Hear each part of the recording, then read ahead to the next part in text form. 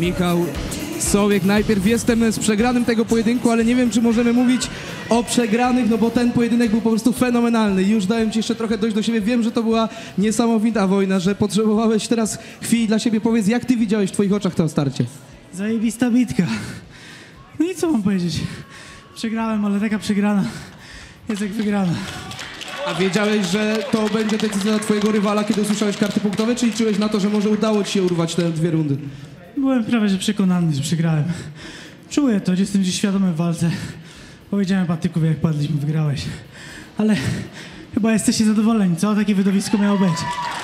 Michał, olbrzymie gratulacje, świetna walka, no i myślę, że wszyscy czekają na twój kolejny występ, mimo tej je- jedynki, jak na razie w rekordzie po stronie przegranych. Czy Patryk Kaczmartek jest gotowy? Jest! Cześć Patryk! Nie mam, Witam serdecznie. nie mam siły, powiem ci. Bardzo się cieszę, że wygrałem, ale muszę chwilę odpocząć. A powiedz mi, jak widziałeś ten pojedynek? Czy byłeś spokojny o werdykt? Szczerze to połowy nie pamiętam, ale fajna była bitka. Po to to robię, po to żyję. Kocham to gówno. To co, jesteś przyszłością cały czas? Chyba to obroniłem, ale jak pokazała ta walka, może się wiele nauczyć. Dziękuję bardzo, szanowni państwo. Patryk Kaczmarczyk, to my sobie jeszcze trochę poleżymy i przechodzimy teraz do naszych komentatorów.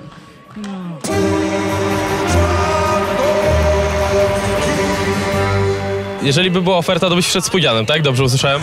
Tak.